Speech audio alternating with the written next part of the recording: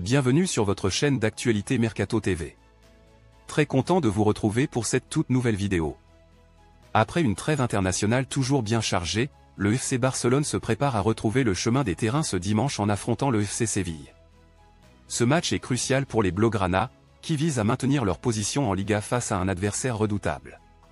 Une victoire à domicile est essentielle, non seulement pour garder trois longueurs d'avance sur le Real Madrid, mais également pour renforcer la confiance de l'équipe avant le prochain défi, le Clasico, qui se déroulera au Santiago Bernabeu. De plus, l'équipe pourra s'appuyer sur quatre nouvelles recrues qui viennent d'intégrer le groupe, apportant avec elles une fraîcheur et une motivation indispensables.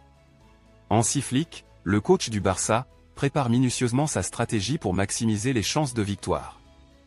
Les supporters attendent avec impatience de voir comment l'équipe se comportera lors de ce choc majuscule contre Séville, tout en se projetant déjà vers le grand rendez-vous de la semaine prochaine.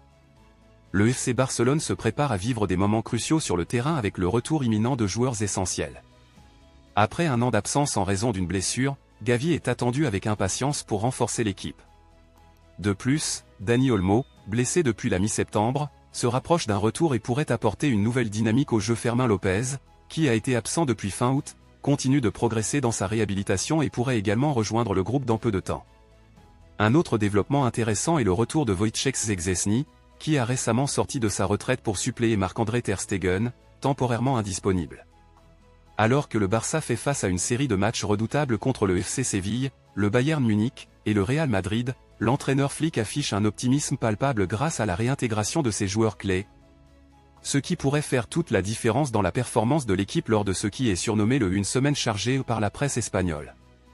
Merci d'avoir regardé cette vidéo, n'oubliez pas de vous abonner à notre chaîne pour ne manquer aucune actualité sur le monde du football.